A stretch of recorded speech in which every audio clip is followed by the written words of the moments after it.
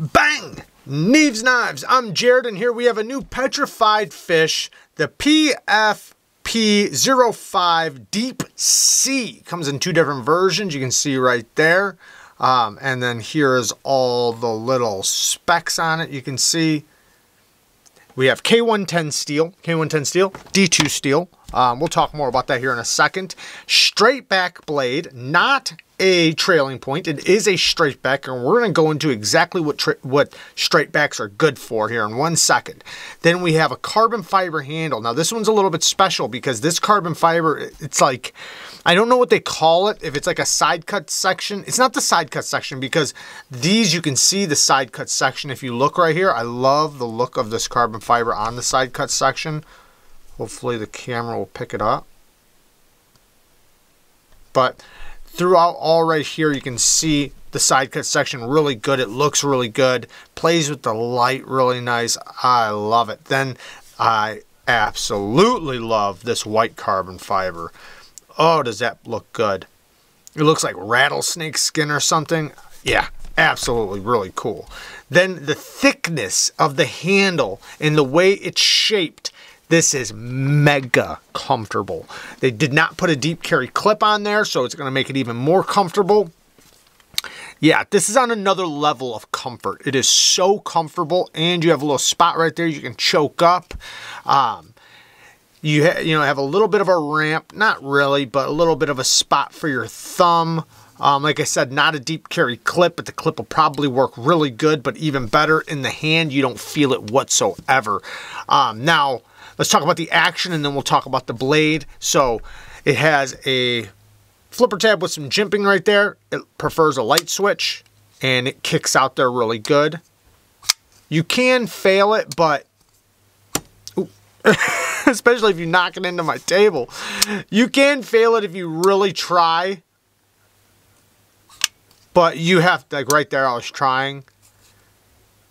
Yeah, you, ha you have to really try though. Um, as long as you're attempting to flip it, it's going to flip with authority every time.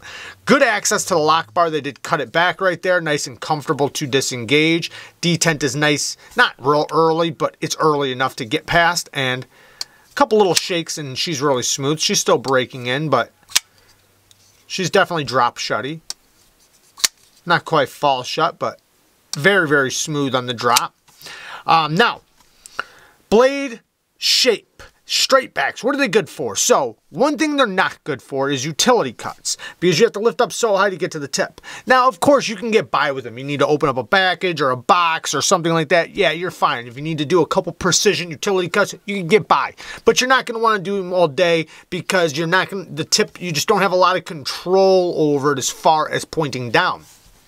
However, the blade shape's really good for, say, cutting rope. You can really use the, the belly you know, like say if you have a rope to cut, meat to cut, um, skinning, things like that. Self-defense. This is a, a, a perfect blade shape for self-defense. Everywhere you aim your your arm at or your your hand at the tip is up sweeping into so even if you go into a reverse grip you know same thing. Everywhere you aim, it's aiming. So fantastic self-defense blade shape. And then also it's really good for some EDC things.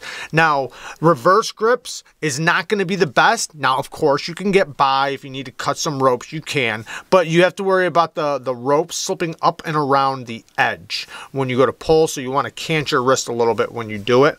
But for pinch grips, you know, slicing this way or breaking down cardboard, things like that, amazing. It's You're going to be able to keep things right there at an angle and you have such a good leverage point because of the handle that you have maximum leverage pushing down. So slicing, cutting, rope cutting, as long as you're going forward, not backwards, and then self-defense, man, it's going to be great. So regular slicing, which is majority of what people use their knife for. Thing is, is utility cuts are a primary thing people use their EDC knives for. This one, you know, you can still do it. You can still get by with it. It's just not going to be something you're going to want to use all day if you that's all you're doing. Anyways, um, the grind is really good. Gets down pretty good geometry. Let's check the thickness behind the edge. Um, feels like it's pretty thin. Yeah, 13 thousandths behind the edge. That's pretty good. Um, full flat grind, and it's got a nice broad blade. Good geometry, not too robust of a spine. I mean, it's pretty thick, but it's, you know, you got a long way to go. Beautiful sharpening drill and plunge grind, and you can, like I said, use that, you know, if you really needed to. You know, you can comfortably use that, that belly. Yeah, pretty cool. I'm liking it. Um, G10 backspacer, steel liners. You can see there's lots of milling. It's very lightweight for the size. It's actually, it, it feels almost lighter than it should be because it's all carbon fiber. So when you get it in your hand, you're expecting it to be heavier than it is. I mean, it's a big knife, at least for me. Um, it's a big knife, but it feels a lot lighter than it is in size. But yeah, only 64 bucks. Not a bad price for the carbon fiber. And then K110, K110. Basically D2. It's going to go best with a toothy edge. I would say stick around 300 to 600 grit. I like all my D2 K110. It's 600 grit. I think that's the perfect spot for it. Some people like theirs a little bit toothier, and I have had some cases where that that's the case even for me.